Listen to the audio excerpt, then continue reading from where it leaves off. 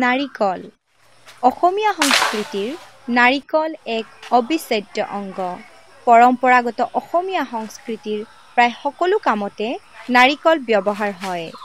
অৰ্থনৈতিক ক্ষেত্ৰখনতো নাৰিকলে বিশেষ গুৰুত্ব লাভ কৰিছে।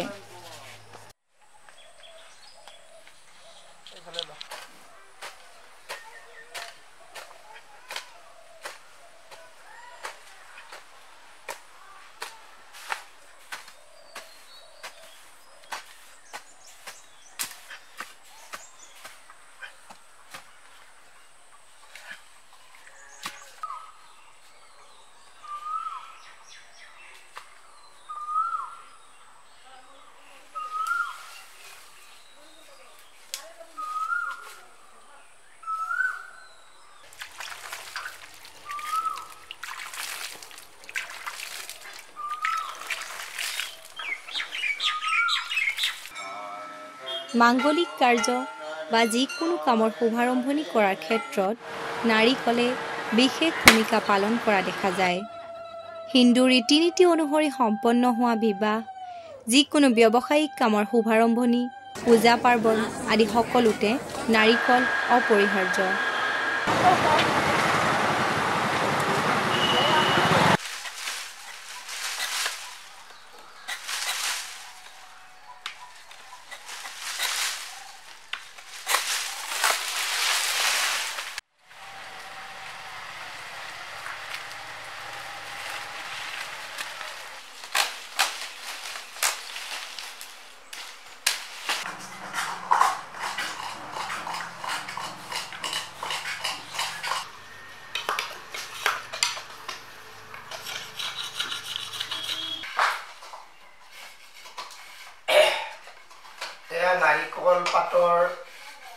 ঢাৰি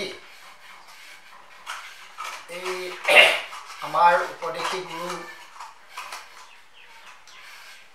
একশৰণ ভাগৱতী সমাজৰ প্ৰতিষ্ঠাপক আচাৰ্য ইলাৰাম দাস বাপদেৱে গুৰু শংকৰৰ আৰ্হি আদৰ্শৰে গুৰুজন যেনেধৰণে খেতিয়ক আছিলে তেওঁ হস্তশিল্পৰ লোক আছিলে খৰাহী ঢাৰি কঠ কাপোৰ বোৱাৰ ব্যৱস্থা আছিলে সেই আটাইবিলাক আচাৰ্য ইলাৰাম দাস বাপদেৱে তেওঁৰ শিষ্যসকলক এই শিক্ষাটো প্ৰদান কৰিছিল। আৰু তেৰাৰ এই পুথিভঁৰালতে আচাৰ্য ইলাৰাম ভক্তগুৰু ইলাৰাম দাসৰ এই পুথিভঁৰালতে আমি তেওঁৰ আদৰ্শৰে এই ভক্তসকলে ঢাৰি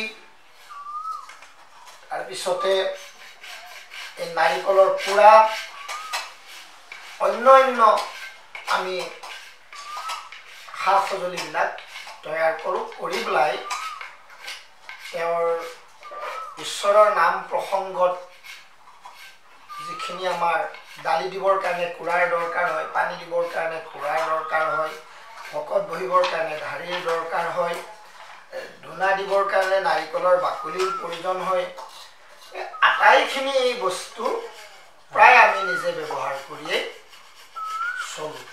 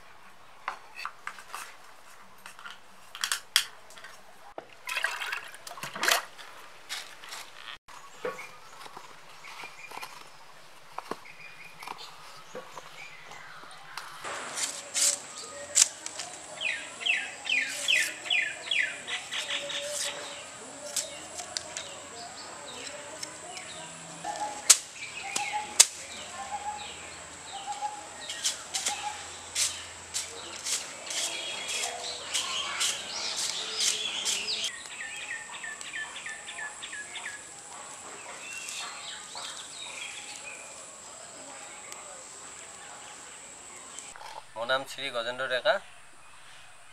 মই মানে এই নাৰিকলৰ কুৰাৰি কেনেকৈ কি বনাব পাৰি তাকে চেষ্টাটো কৰি আছোঁ।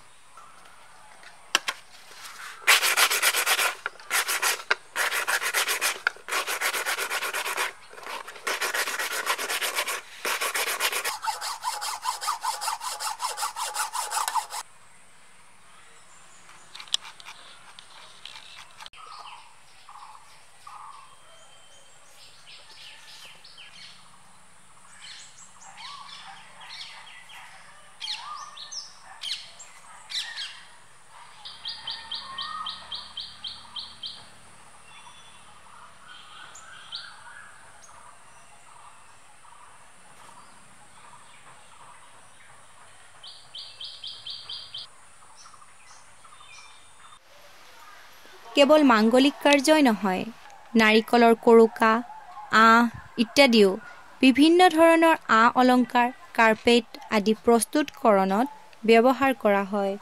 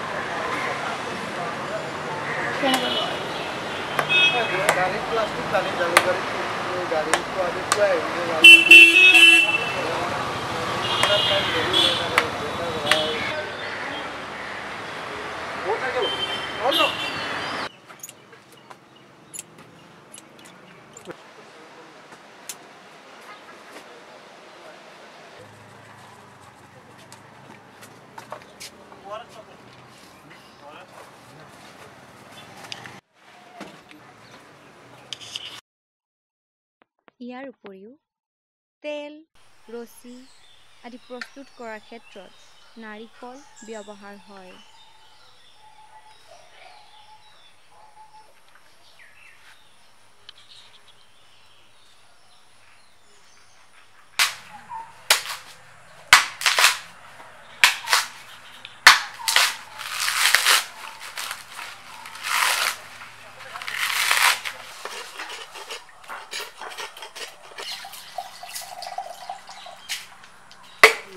לקחת לי שלט.